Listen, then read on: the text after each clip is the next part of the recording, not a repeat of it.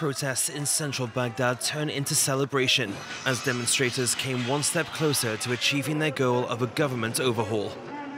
On Friday, Iraq's Prime Minister Adel Abdul Mahdi announced that he was stepping down amid unrest that is nearing its second month.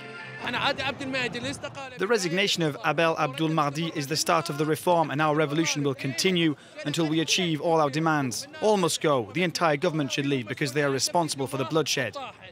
The resignation came after Iraq's top Shia cleric, Grand Ayatollah Ali al Sistani, showed a lack of faith in the government. In a sermon delivered by his spokesperson, he urged the country's parliaments to pull their support of the embattled prime minister. The parliament from which this current government is drawn is asked to reconsider its choice in this regard, an act according to Iraq's interest to prevent the country from slipping into violence, chaos, and destruction. Iraq has been gripped by deadly protests since October.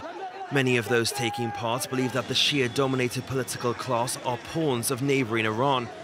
Iranian consulates have been targeted numerous times by protesters.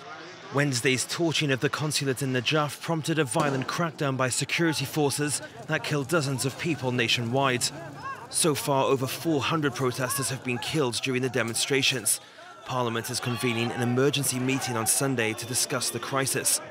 Prime Minister Mahdi hasn't yet announced when he will officially resign.